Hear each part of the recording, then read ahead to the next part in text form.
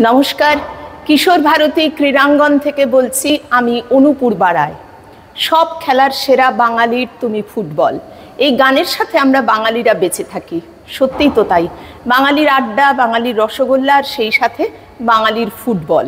Football আর বাঙালি, এই দুটো শব্দ যেন আমাদের কাছে সিননিমাস হয়ে গেছে। আর বর্ষাকাল মানেই ফুটবলের মরশুম। তবে শুধু বর্ষাকাল নয়, বারো মাসই ফুটবল খেলা হয়। বিশ্বকাপ ফুটবল, অন্যান্য ঘরের খেলাগুলো, কিংবা বিশেষ কোনো ট্রফি কিংবা লিগের যখন খেলা থাকে, তখন বাঙালির উন্মাদনা আরও বেশি বেড়ে যায়। এই যে কিশোর ভারতী যে এই স্টেডিয়ামটা এটা কোথায়? যারা আপনারা আসতে চান, তারা জানেন। তারা যদি বাইপাস থেকে কোনো কারণে গড়িয়ার দিকে যেতে চান, তাদের কসবার একটু পরে নামতে হবে।